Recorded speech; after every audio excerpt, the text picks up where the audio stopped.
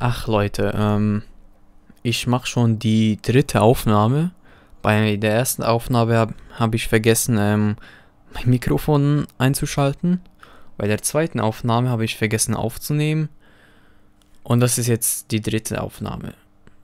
Also ja, das nur nebenbei gesagt. So, hallo zusammen, willkommen zurück zu einem neuen Video. Und heute zeige ich euch, wie ihr solche coole Charaktere machen könnt.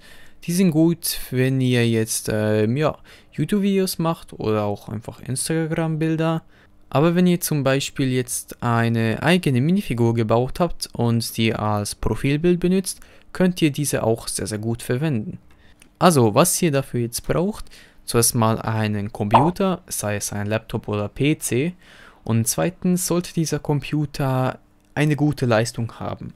Denn ähm, dieses Programm wird ähm, ein bisschen ähm, ja, Speicher brauchen und ähm, leider können nicht alle, vor allem Laptops, ähm, ja, dieses Programm, äh, wie soll ich sagen, ähm, soll ich sagen, verarbeiten oder ich weiß nicht, was äh, ich sonst sagen soll. Mir fällt gerade kein anderes Wort ein.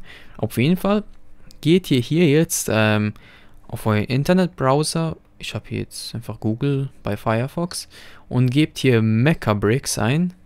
So schreibt man's. Und dann ähm, geht ihr auch direkt auf die Webseite. Ja, das dauert immer ein bisschen.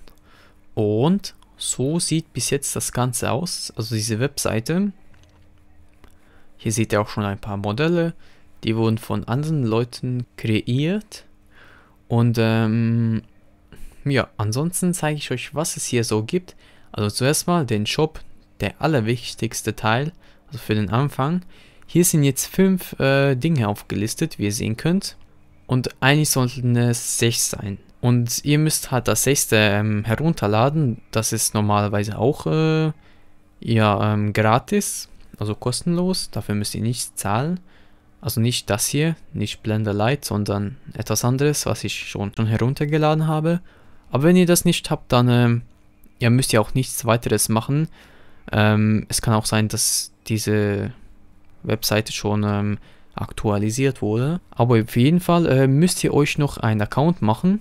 Hier oben ähm, sollte irgendwo Login stehen. Aber ich bin hier schon eingeloggt. Also das hier ist nicht mein echter Name.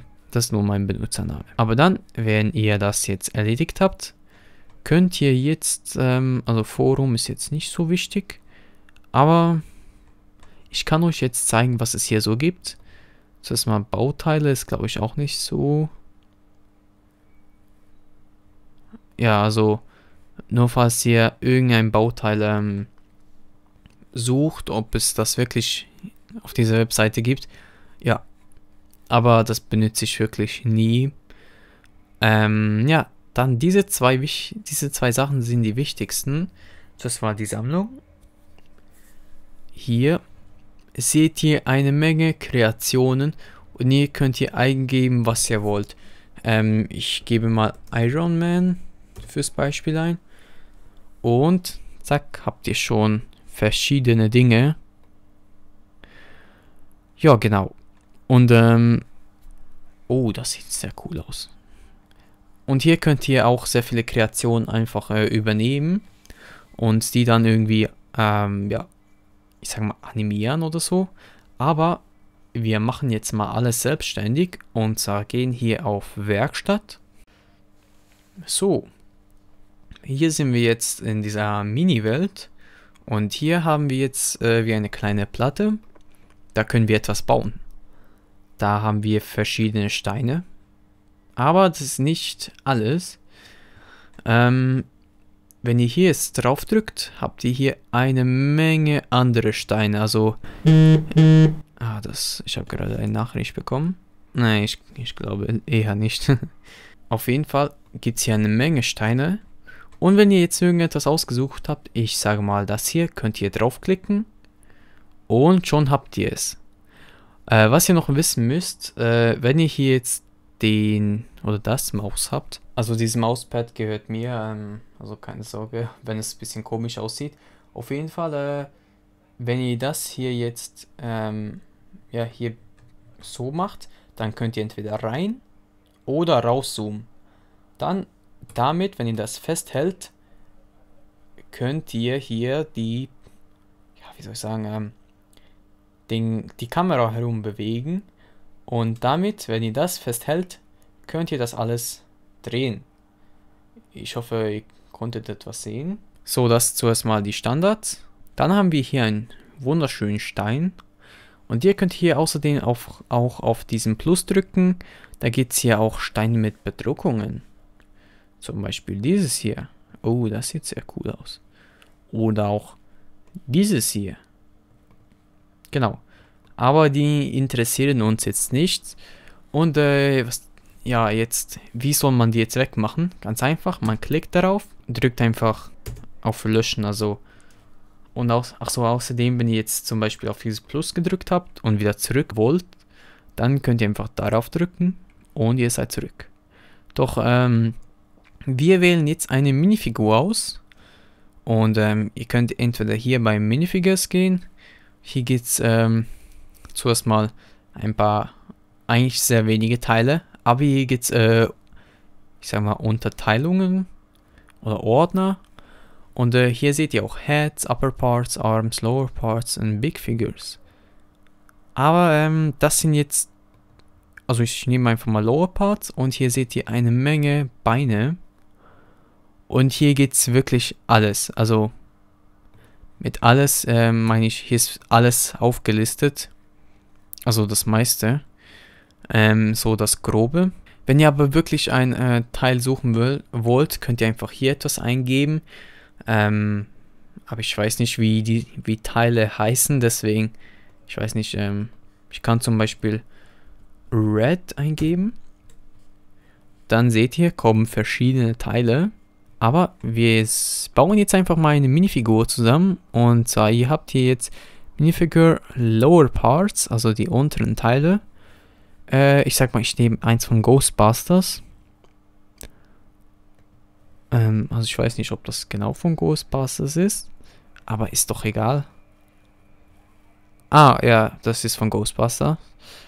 Ähm, ja, genau. Dann können wir hier noch bei Minifigure Upper Parts noch ähm, etwas anderes wählen. Ich nehme mal eins von Minecraft. Dann können wir hier So, hier habt ihr jetzt ein Torso. Jo. Dann könnt ihr auch noch einen Kopf natürlich wählen. So, ähm, ach so, wenn ihr etwas wählt, dann ist es einfacher, wenn ihr jetzt auf diesen Punkt hier draufklickt. Und dann hier zum Beispiel bei Heads, ich nehme einfach Agents, ähm, wählt ihr einfach so einen Kopf. Und wenn ihr jetzt zum Beispiel euch jetzt verklickt und hier drauf drückt, dann Seht ihr, kommt der Kopf da. Man kann das auch natürlich auch so machen. Also ja. Aber das sieht lustig aus. ähm, also hier habt ihr wirklich verschiedene, sehr, sehr viele Dinge, was ihr machen könnt.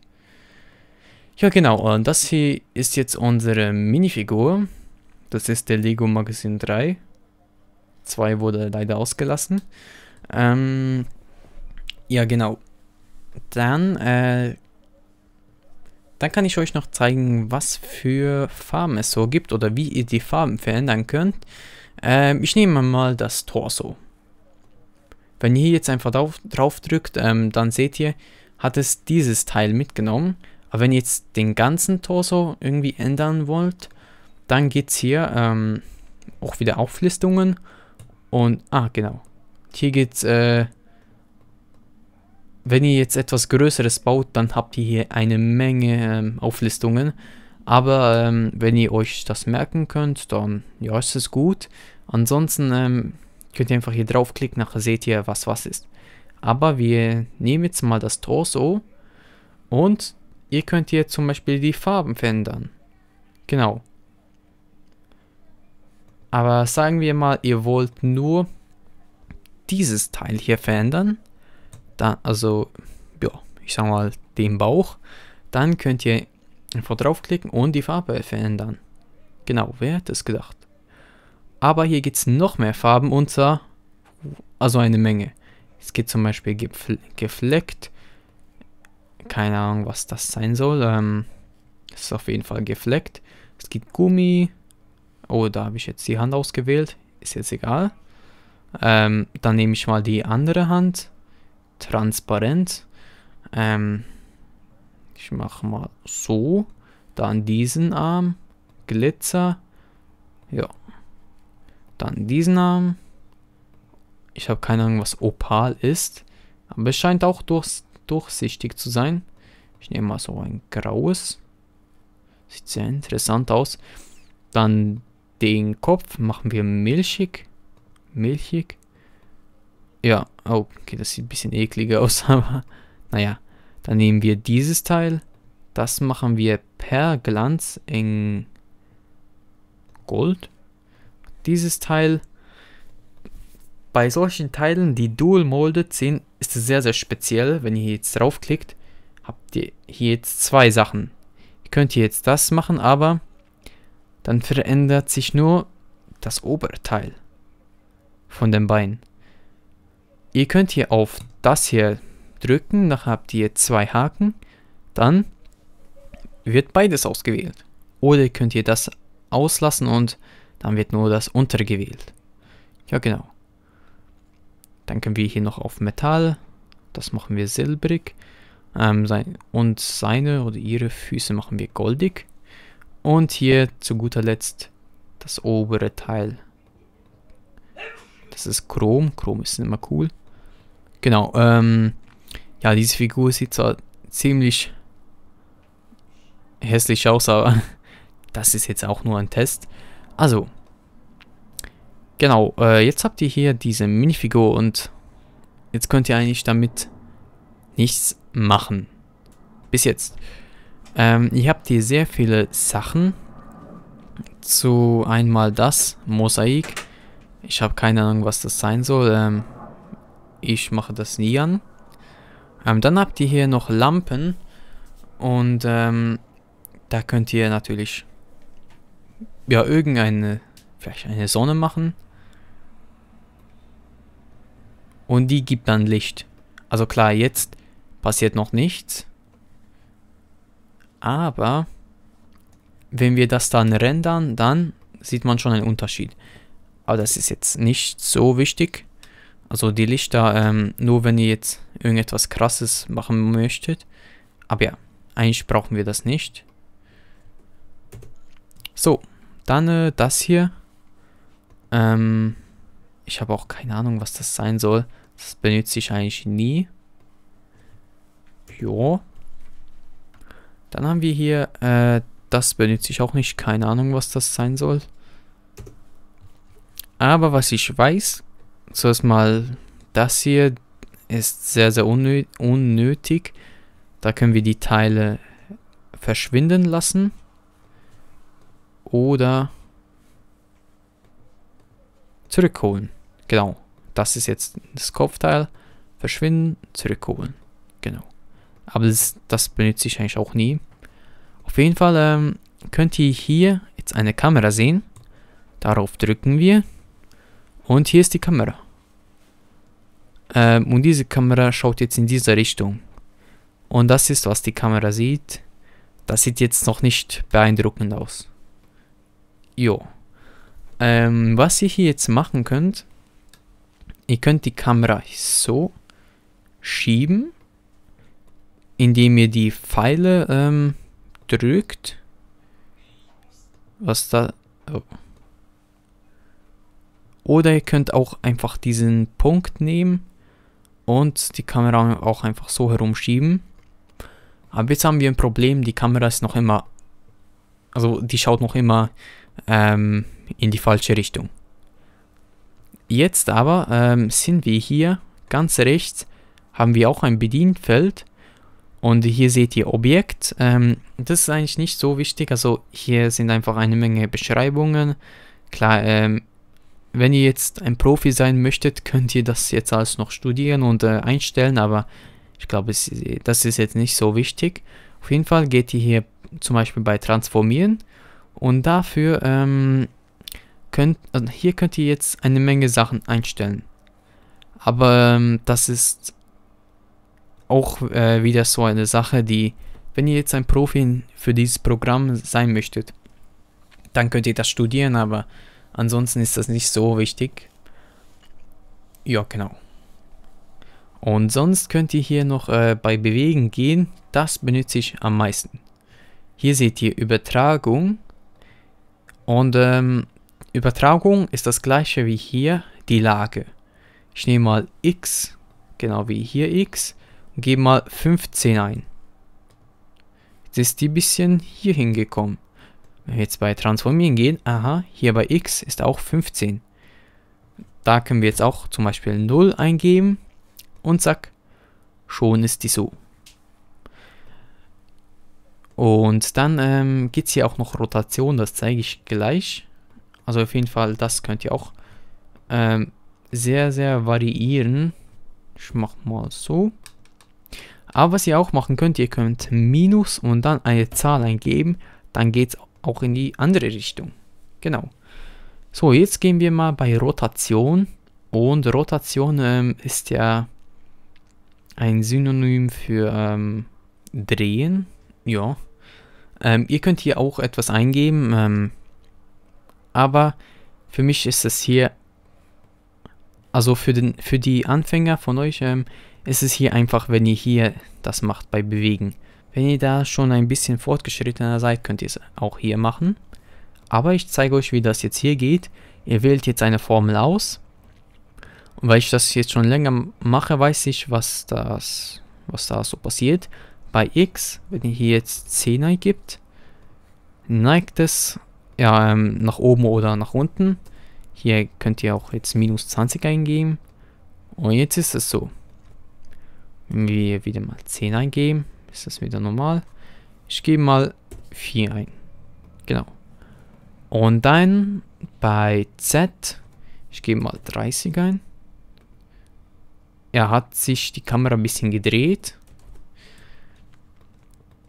Und äh, wenn jetzt bei Y geht, dann dreht sie sich ähm, ja, im Kreis herum.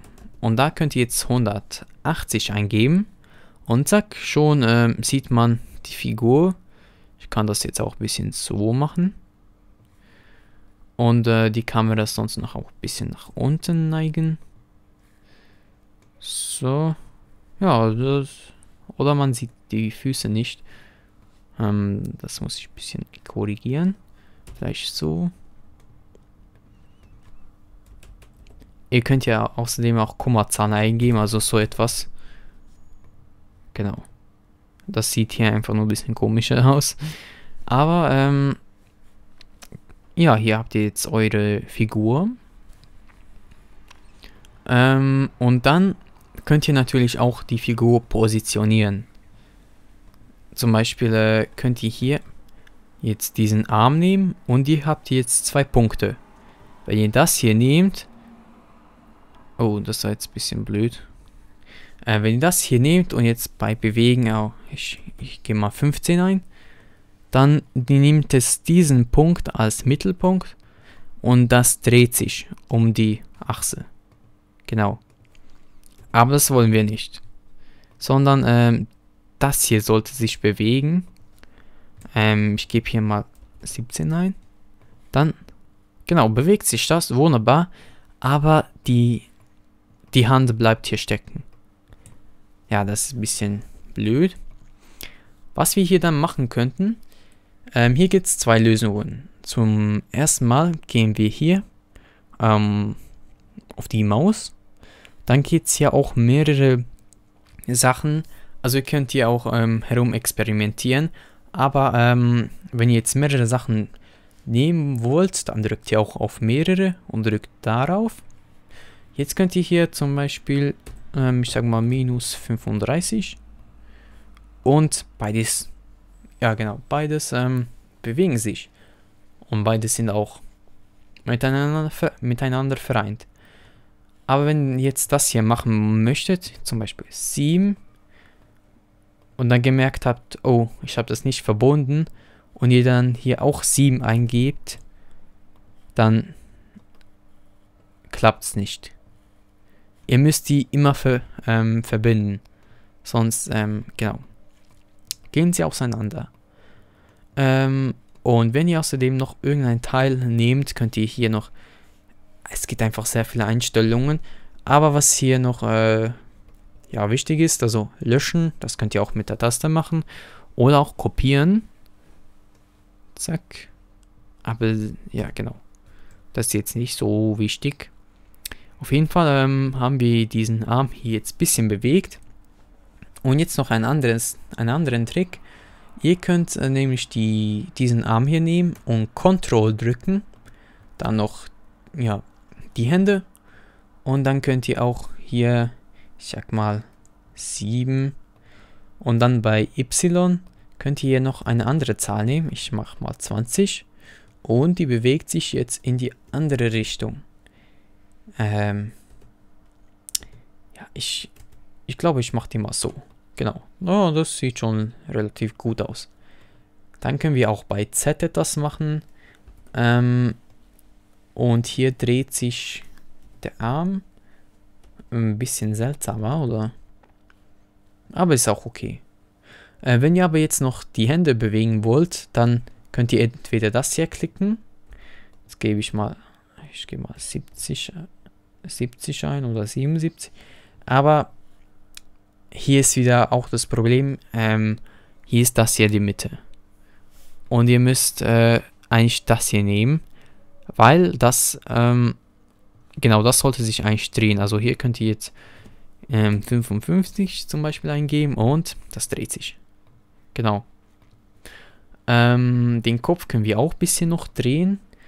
Ähm, ich sag, ja, damit er ein bisschen, äh, ich sag mal, bisschen kreativ, kreativer wirkt, auch ein bisschen ähm, in die Seiten neigen. Und dann können wir auch zum Beispiel äh, das hier machen. Ähm, nee, das ist nicht gut. Ja, ja. So.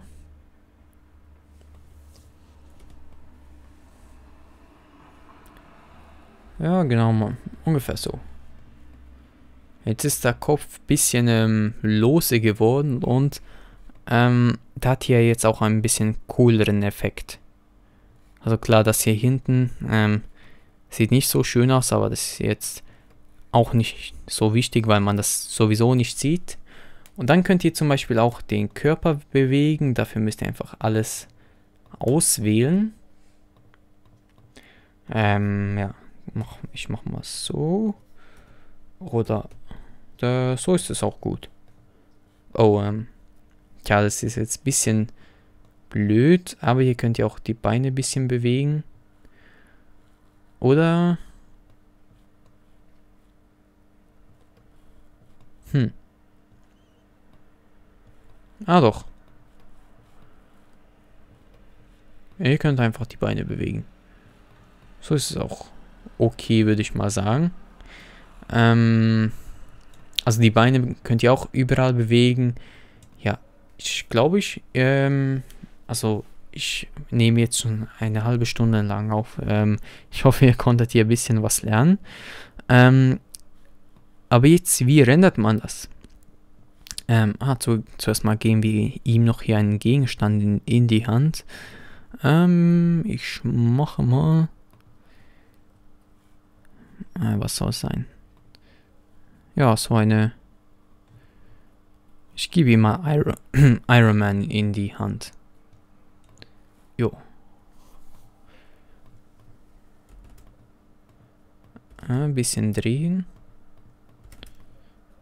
Nee, nee, das ist nicht gut.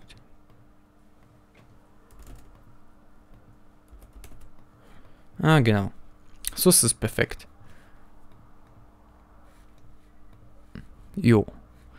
Dann geht ihr hier jetzt ähm, hier drauf und drückt auf 3D Rendering und oh, das sieht schon ein bisschen besser aus. Und dann ähm, hier gibt es auch eine Menge Einstellungen, aber das Wichtige ist, ihr drückt hier auf Camera View und das sieht die Kamera. Jetzt könnt ihr natürlich, ihr könnt jetzt zum Beispiel einen Boden machen. ähm, was ich aber nie benutze. Ähm, ja. Aber ihr könnt hier zum Beispiel einen Hintergrund benutzen, und zwar entweder ein Bild oder auch eine Farbe. Ähm, machen wir mal dieses Blau. Natürlich müsst ihr das auch noch anmachen. Aber ähm, wenn ihr dieses Bild jetzt ausschneiden möchtet, ist es nicht so optional, wenn diese Arme hier auch blau sind. Also nehmen wir jetzt eine andere Farbe. Ähm, äh, ja, vielleicht so, so ein Blau. Genau. Dann könnt ihr hier auch noch ähm, die Beleuchtung ändern. Dann sieht die Figur deutlich anders aus. Also hier seht ihr, die Figur sieht halt viel realistischer aus. Auch hier, so sieht sie aus, als wäre sie in einem Zimmer. Aber ihr könnt natürlich auch so ein Fotostudio nehmen und dann sieht die Figur ein bisschen mehr computeranimiert aus. Oder auch so etwas. Und da könnt ihr natürlich auch die Lichtstärke ändern. Ähm, aber behaltet es lieber auf 1. Genau, so auf 1. Oder auch zum Beispiel Natur. Ah, hier seht ihr, ist ja auch, ähm, hier ist die Spiegelung, was sehr, sehr cool ist. Genau. Und jetzt äh, könnt ihr noch das Bild ein bisschen vergrößern. Bis es, ah, ja, bis es rot wird. Also ist nicht wichtig, aber ihr könnt es machen. Und dann habt ihr hier ein Bild. Und jetzt solltet ihr das eigentlich rendern können. Wenn es gehen würde. Genau, ähm, das Ding ist halt, manchmal funktioniert diese Webseite einfach. Und äh, ich weiß nicht warum, aber irgendwann möchte, möchte diese Webseite einfach nichts rendern. Also genauso wie jetzt, ähm, es rendert jetzt einfach nicht. Aber dieser Balken sollte eigentlich genauso wie dieses Grau hier aussehen. Aber ja, es, ähm, es, ist, ja, es ist jetzt einfach nicht grau. Ja, genau. Aber ansonsten, wenn ihr das jetzt speichern möchtet und das nächste Mal weiterarbeiten, weil dieser Teil schon sehr lange geht, geht ihr einfach auf Datei, ähm, speichern. Ihr könnt natürlich auch auf, auf Speichern alles drücken, aber ist jetzt nicht wichtig. Dann ähm, zum Beispiel könnt ihr hier, was heißt ich, ähm, ich mache mal Test Mensch eingeben. Genau. Speichert es. Das dauert immer ein bisschen. Ja, hier seht ihr es auch. Ähm, ich möchte ein bisschen... Ah, okay. Jetzt hat es geklappt. Super. Ähm, ja, ich habe gerade außersehen die Aufnahme beendet, aber ich mache jetzt einfach mal weiter. Ähm, ja, wenn ihr das jetzt alles gespeichert habt, könnt ihr jetzt ähm, einfach auf Sammlung drücken. So. Und äh, ihr könnt jetzt auf euren Account gehen. Hier habt ihr dann sehr, sehr viele Dinge, also was ich schon gemacht habe. Ähm, genau. Vielleicht erkennt ihr auch ein paar Sachen wieder.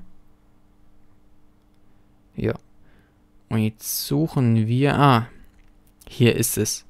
Ähm, auf jeden Fall haben wir das jetzt abgespeichert.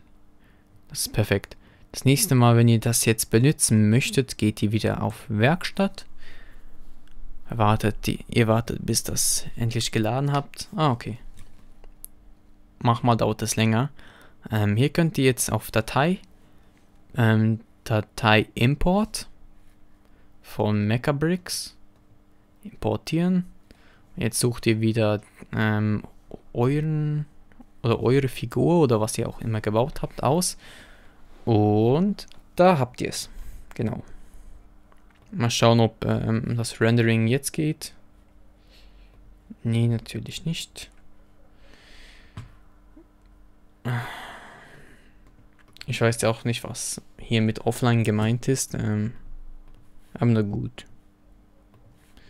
Dann probiert es halt mal anders mal. Also es gibt Tage, wo Mechabricks wirklich nicht funktioniert, also es einfach nicht rendern will. Ähm, ja.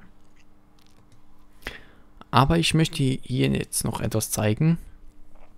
Und zwar geht ihr hier jetzt auf, ähm, ach so, okay, wir sind jetzt bei Sammlung. Jetzt können wir einfach irgendetwas eingeben. Ähm, ich gebe hier mal Yoda ein. Ist jetzt einfach ein Test. Und ihr habt jetzt verschiedene Dinge. Okay.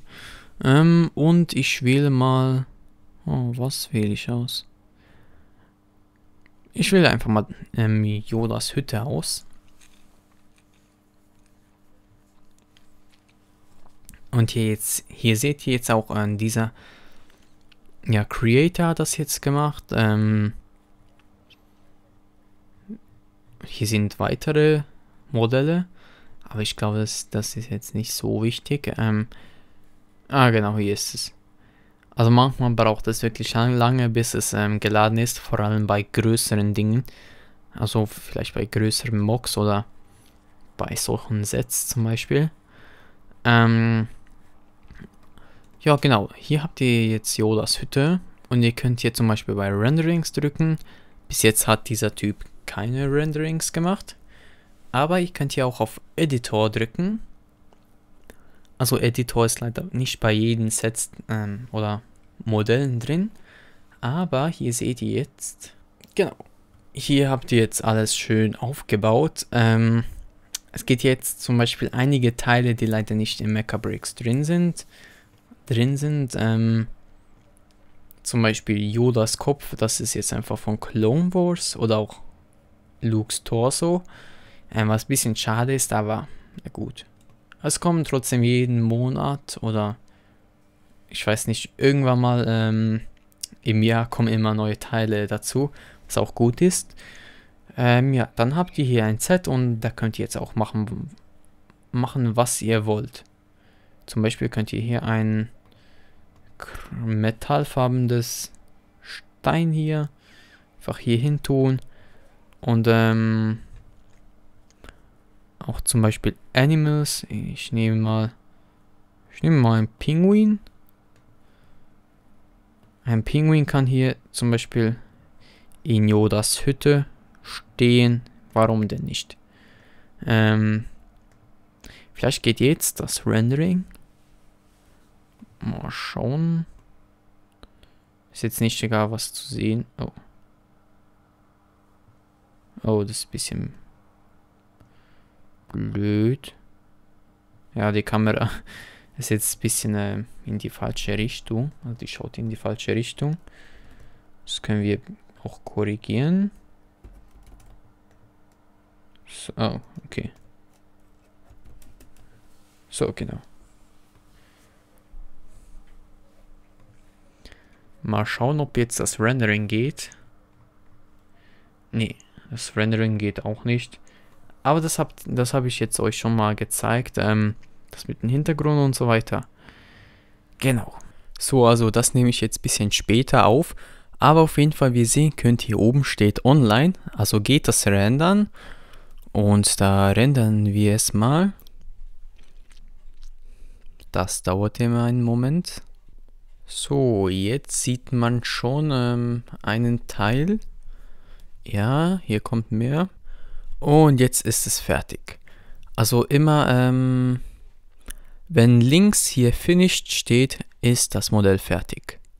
Und jetzt, was ihr machen könnt, ihr könnt davon jetzt einen Screenshot machen und dann das Bild ausschneiden. So ein Screenshot, herunterladen und dann ausschneiden. Wenn ihr aber nicht wisst, wie man das macht, dann zeige ich das jetzt kurz. Also ähm, ihr müsst hier jetzt Rechtsklick drücken und dann auf Bildschirmfoto. Und ja, so könnt ihr einen Screenshot machen. Und wenn ihr das nicht habt, dann müsst ihr Snipping Tool öffnen und dann das so ja, ausschneiden. Wenn ihr aber keins von beiden habt, dann ähm, macht ihr irgendwie anders einen Screenshot. Also ähm, bestimmt gibt da bestimmt gibt es hier auch andere Optionen. Und das Ausschneiden geht eigentlich mit ja, sehr vielen Programmen. Aber für die einfachste Möglichkeit könnt ihr einfach dieses Video hier anschauen und hier zeige ich euch, wie das geht. So, das war jetzt ein bisschen längeres Video. Auf jeden Fall ähm, hoffe ich, dass es euch gefallen hat. Ich wünsche euch allen einen schönen Tag und bald ein schönes neues Jahr. Macht's gut und ciao.